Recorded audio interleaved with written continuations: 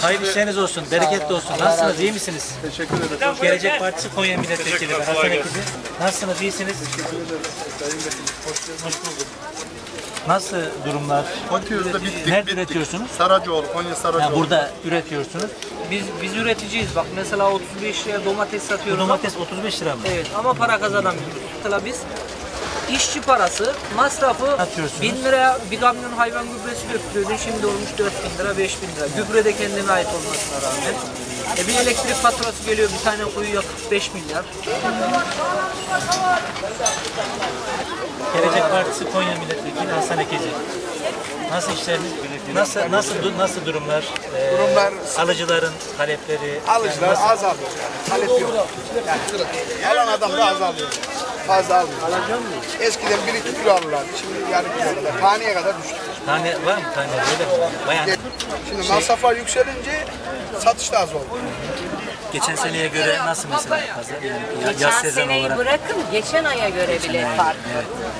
Yani her bir, bir- pazar bir, bir fark ayda bile ediyor. fiyatlar fark Her ediyor. hafta Bir fark ay ediyor. öyle mi? Bir, Mesela e, bunu nakliye üzerinden yakıtı düşürmek lazım. Önceden benim arabam haftalık 500 lira yakıyordu. Şu anda 1 milyar yakmaya fiyat başladı. artışlarının temeli yak, akaryakıta gelen Akıt zamlar. yakıta geliyor. Artı başka şeyler var mesela. Evim kendi evim olmasa ben kira bedelini karşılayacak durumda değilim. Şu anda en kötü bir ev 8-10 milyar civarında kira. Kirada mısınız siz? E, Kendi evim bir ay sonra yıkılacak. Kira arıyorum. Emekli maaşım benim kiramı karşılayamıyorum. Ben hiçbir şey yapmasam, çalışmasam ne yapacağım? Ya hırsızlık yapacağım. Ya sorsuzluk ger- yapacağım. Gerçekten emekli. Ya çalacağım. Ya Şimdi bir ziyaret Milletvekili. Şimdi de anamızı ağladı. Allah anamızı ağladı. Nasıl olacak nasıl olacak bilmiyorum. Pazar, pazara ne? 110 lira. 110 lira değil mi? Bir, bir koli yumurta 110 lira. Pazarda ne orada ya. Belediye, seç, belediye seçimlerinde ağızlarını tayin ederek güzel güzel şu an. Tabii tabii. Tek, tek gayrı Yani o. fiyatlar, Fiyatlar, satış. Fiyatlar pahalı bu sene. Ne, Karpuz şu anda kaç alındı? tarlada şu anda 8 9 10 liraya satıyor. Bir kavun, bir karpuz çıkıyor. 200. Bir kavun, bir karpuz 200 lira. 200 lira. Tam da Ağustos ayında en bol olduğu Kendi. Dört Al, haftada, karpuz yemeyen var ya şu anda.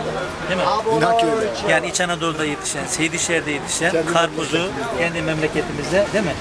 Yiyemiyoruz. 238 lira. Bir kavun bir karpuz.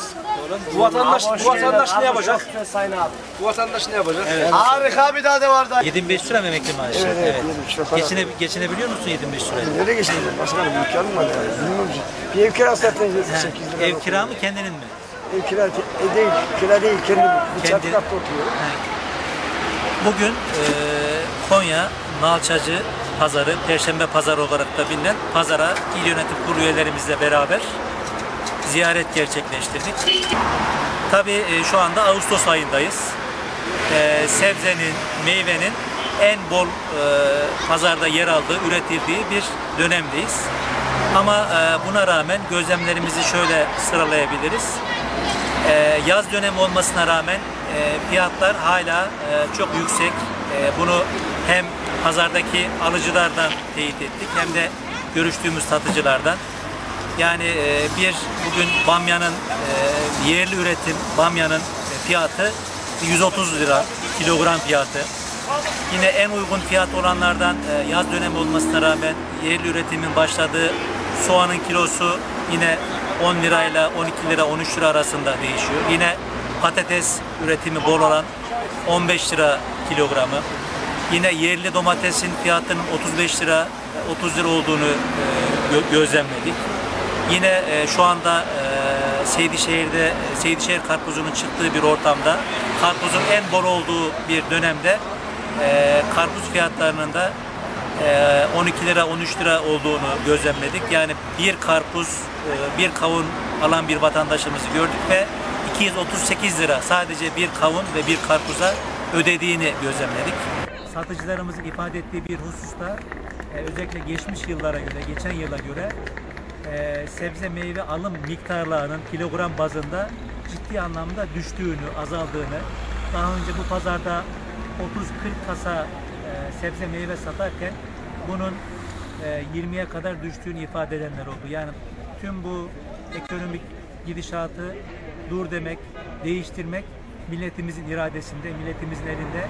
biz muhalefet olarak, Gelecek Partisi olarak vatandaşımızın umudu olmaya, vatandaşımıza alternatifler oluşturmak için kadrolarımızla Genel Başkanımız Sayın Ahmet Davutoğlu ile hazırız.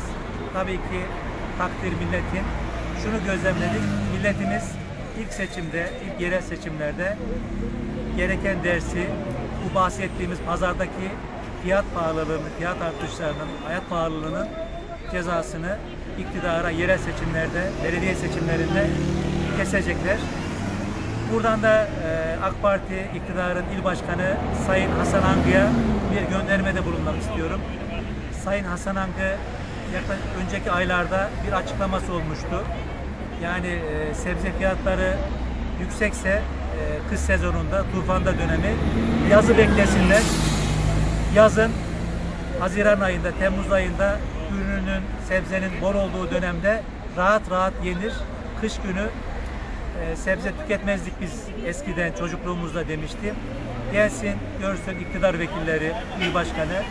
Şu anda dahi insanlarımız rahatlıkla sebze meyve alamıyorlar, tüketemiyorlar. Yani kışında, yazında durum değişmiyor. Milletimizin takdirine sunuyoruz. Hatta Sayın İl Başkanı turşu yerdik biz kışın. Kışın turfanda sebze yemezdik demişti. İnanın şu anda vatandaşlarımız turşu yapmak için dahi öyle bol miktarda domates, salatalık, biber alma durumları dahi yok bu fiyatlar karşısında.